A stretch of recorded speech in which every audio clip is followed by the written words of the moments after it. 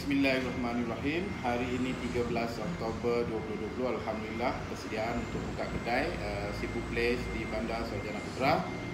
So, Kodi nak tunjuk cara menyediakan uh, patin gulai tempoyak. Eh. So, kita nak sediakan kuah dia dulu. Eh. Kuah dia, so kat kedai, Kodi sediakan satu klepot uh, saiz macam ni.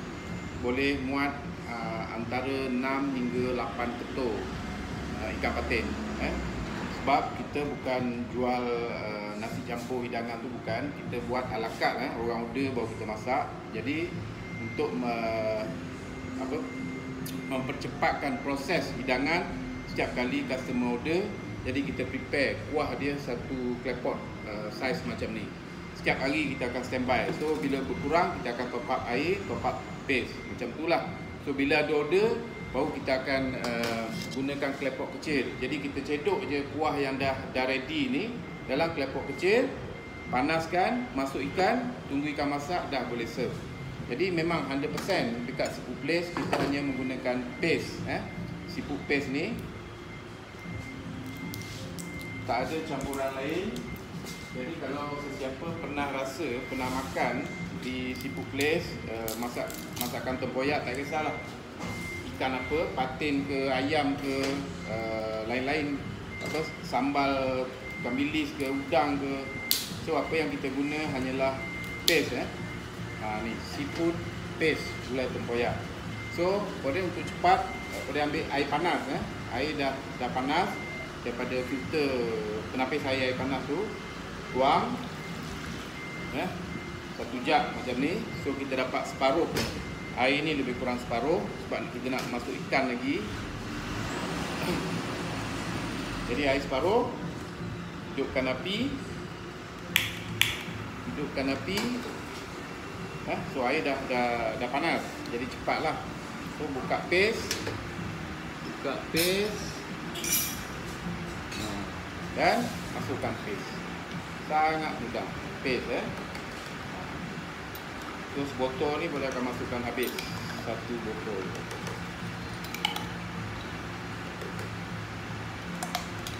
Tengok color dia ya. Bau dia Bau durian eh. Tak macam bau tempoyak. Dia adalah bau durian. Durian D24 Kerana kita guna durian fresh eh, Isi durian fresh D24 eh, Campur sedikit dengan samping So inilah cara penyediaan. So sesiapa pun boleh buat eh, kat rumah ataupun nak meniaga tepi-tepi jalan pun boleh menggunakan paste ni. So kapatin dan juga paste tempoyak ni dia ada kekuatan dia sendiri untuk menarik pelanggan. Sebab peminat patin ni eh, bila dia jumpa patin dia akan lupa benda lain eh. Walaupun niat dia tadi nak pergi makan macam-macam tapi bila dia nampak gulai kapatin ni dia boleh potong eh, dia boleh sailang uh, nafsu orang lain tu keinginan orang lain tu nak makan benda lain bertukar kepada makan ikan patin. Jadi potensi untuk kita niaga di tepi jalan untuk tarik customer tu amat tinggi. Sebab bau dia amat kuat dan dia ada peminat dia tersendiri. Bila nampak aja dia akan datang. Bila nampak saja dia akan datang. Eh itulah kekuatan bila kita berniaga ikan patin gulai tempoyak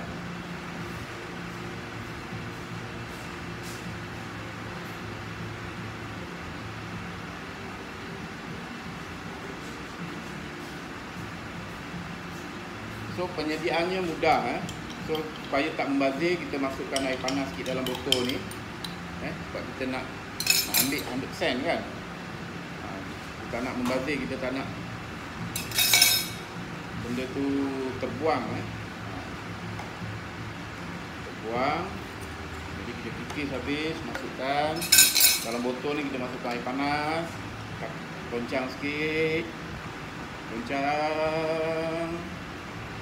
So kesemuanya kita boleh ambil Tuang lagi. Ada lagi sikit-sikit. Tak apa kita ambil air panas lagi.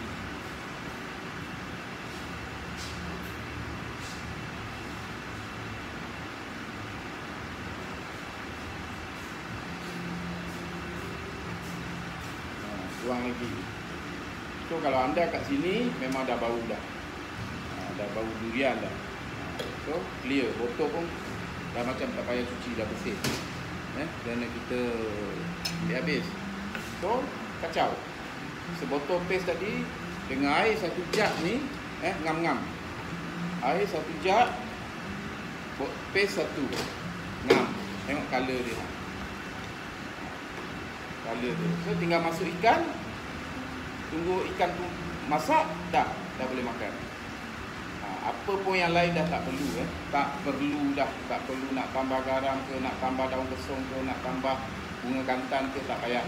Nak letak tak salah. Tapi kalau letak kita tak tahu original rasa dia tu macam mana kan kalau anda sedap oh, mungkin anda rasa kena letak guna katan ha, kena letak daun kesum jadi cuba buat tanpa menggunakan sebarang campuran lain eh.